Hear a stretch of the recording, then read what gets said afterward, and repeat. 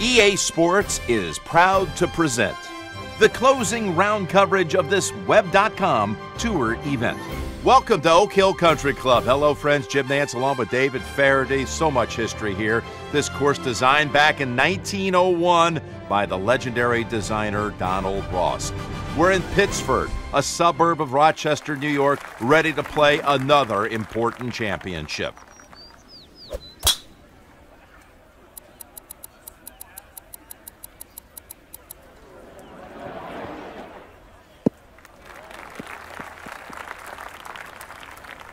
Who doesn't have the first tee jitters? Boy, you'd never know it right there. David, how about this action? 150 yards left to the flagstick here.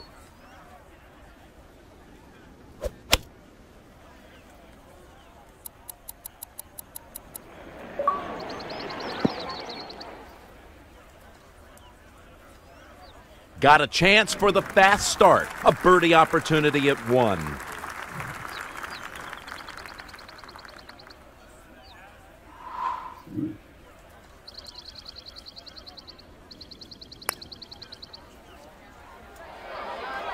That's a whole lot of game. What is going on, guys? Welcome back to Tiger Woods PGA Tour 14 here on the Xbox. um, so, a couple changes that I made to uh, this game.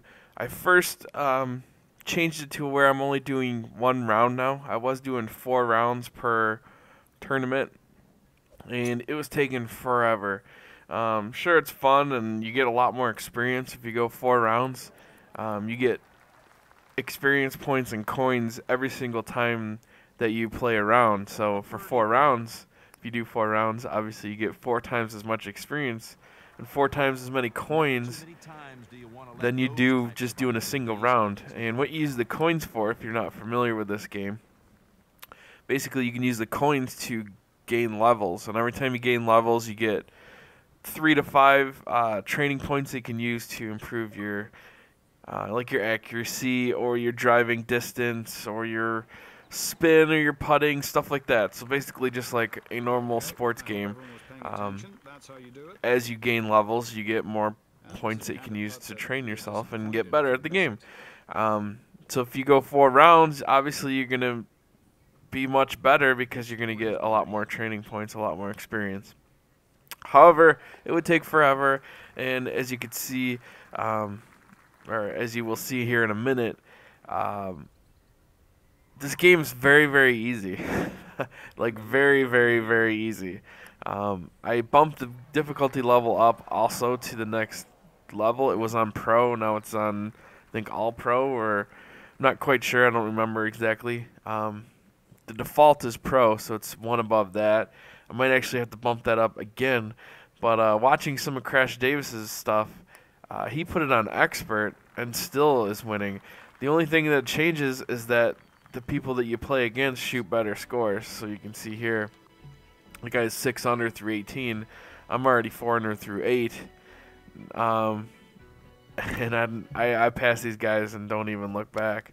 Um, so I mean, I don't know, like I'm not sure what else I can try. I've seen where you can put it on uh, harder modes, like uh, me and uh, Alan played a round at the Masters, and when you get to the Masters, they um, they changed, or we we played an online match at the Masters, and what changed was that you couldn't spin the ball once you hit the ball in the air. You can't put spin on it anymore. So I think you'd have to do that prior to uh, actually swinging. So um, a lot of times, like this one, I put a lot of front spin on it because I saw it was going to land a little bit short. Um, so that kind of gives you a little bit of an unfair advantage. Uh, also, what it would do is uh, it took off the green, like all the uh, all the little grid on the green. It took a lot of that away, so it was hard to tell uh, exactly where your putt was going to go when you did the putt preview. Uh, so there was a lot of stuff like that that could make it a little bit more challenging, but to me, I think that would make the game a little bit more frustrating than challenging. uh, but we'll see. I mean, I, I do enjoy the game here and there because it's it's kind of a different pace. Um, but I mean, if I'm winning by 10 strokes, it kind of defeats some of the purpose of it actually being a game and more of it just being me pooping on people. now, part of it too is uh, I'm in the amateur tour here basically. I'm in the web.com tour. So it's not the PGA Tour, so I'm not playing against Tiger Woods and shit like that. So that's part of it. So maybe once I get to the PGA Tour, I think a couple things happens when I get to the PGA Tour. One, I think the greens and the conditions of the, the like rough and all that kind of stuff changes a lot. Uh, I think the tee boxes get moved back, so you got to hit a little bit farther. Uh, and then I'm going up against better competition. So I don't really want to change anything just yet. Um, you'll see at the very end of this video that I do get moved up to the PGA Tour after this uh, after this victory.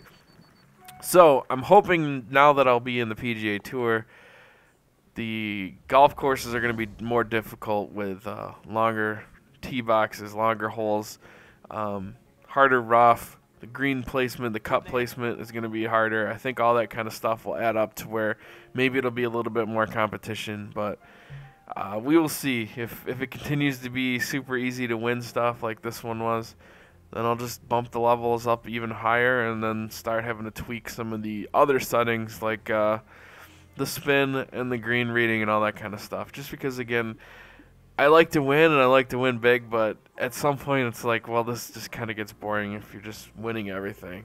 Um, but I do like it because I can uh, go in and unlock all new clothes and clubs and stuff, which is cool. So hopefully you guys enjoyed the video. Leave a comment below. Let me know what you think, and uh, we will catch you tomorrow. Peace.